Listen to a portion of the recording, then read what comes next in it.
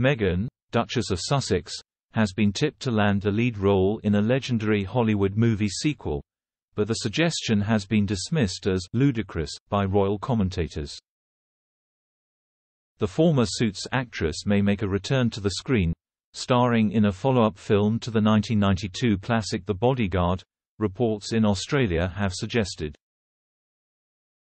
It seems she could be following in her mother-in-law's footsteps as Princess Diana was similarly linked to The Bodyguard too and was in talks with Kevin Costner.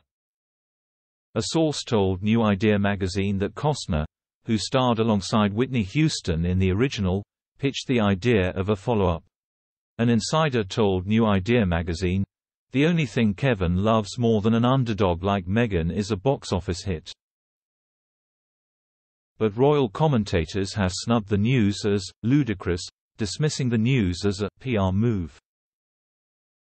Kinsey Schofield, speaking on her podcast To Di For Daily released on Tuesday, said, I don't think that there's any way that Meghan could fill in for two icons, Whitney Houston and Princess Diana, and I just think what a ludicrous suggestion. Her co-host, journalist Christo Foufas described it as, an absolute PR move. Ms. Schofield added, Stunt? Just a total stunt? I'd go as far as saying it's a crock of you-know-what.